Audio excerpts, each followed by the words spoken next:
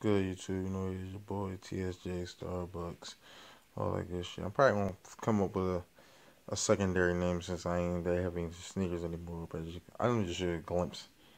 As you see, my uh, stock is kind of going down. This is like that row, second row down. Excuse my dirty clothes. And right here is all sneakers for sale. But let's get to the reason why I'm making this video. This is basically a quick pickup video. I got three more jerseys that just came in. Uh, I got at least maybe six or seven more on the way, but these are the first three that came in. I wanted to do a big unboxing video or unbagging, whatever you want to call it, video, but I had a day off, so I said, let me just do these three first. Do the rest of them when they come, probably over the weekend. And after I do all that, I probably won't be copping jerseys like a lot more jerseys for like another month or so. So I'm just gonna review all the ones I got. But let's get into the unboxing. Now you gotta bear with me because I'm doing this with one hand. It looks like someone already tried to go in my package already. And these came actually quicker. Today is Tuesday. I thought they wouldn't be here till uh, like Thursday. Oh, he double bagged it. I like that. Good shipping. I'm not going to show you no addresses and all that. You don't need to see it.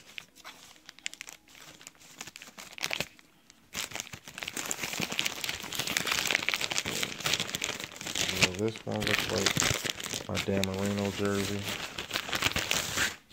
And it is.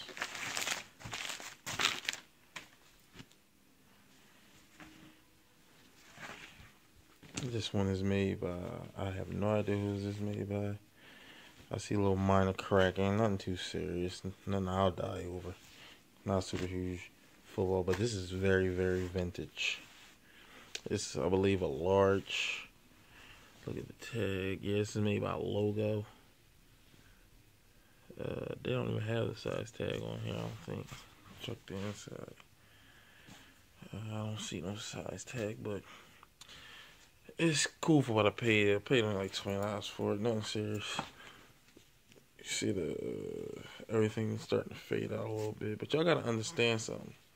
These jerseys are very vintage. Don't get me wrong. I get a little upset sometimes. I see things like that, but when you you get what you pay for, so these jerseys was made in the early '90s. These this is not a reproduction. This is vintage basically. But let's get on to the next one. I don't know what's what. It's one jersey I know that's probably in here. I wanted to look at it, but if I, if it's this one, I'll just show it last, and I'll just open the next package. this? Yeah, this is. I show that one last. I know what this one is. I think this is from one of my favorite teams. I believe it's a football jersey. With that being said, I should know what jersey it is. If you watched my last video, you know what my favorite team is. This is very difficult doing with hand. I gotta the camera, man. What this is? Oh, this is a letter? Oh, it's a little invoice.